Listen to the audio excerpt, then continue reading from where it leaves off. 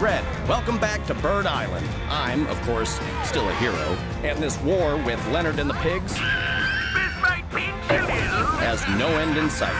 you stupid bird. I guess birds and pigs will always be enemies. Hello! Ah! I come in peace. Ouch.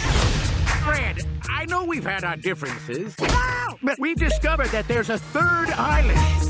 Activate the weapon! And they're plotting to destroy us all. And here's the scary part. We need to put aside our differences and work together. Are you freaking kidding me? Each of you has been selected because you're the best oh. that we could find. Oh. We gotta be prepared for anything, is what my assistant was going to say. Assistant, you're the assistant. Okay. Real Really? Okay, guys, let's do this. This is it? This is the amazing team I've been working around the clock for.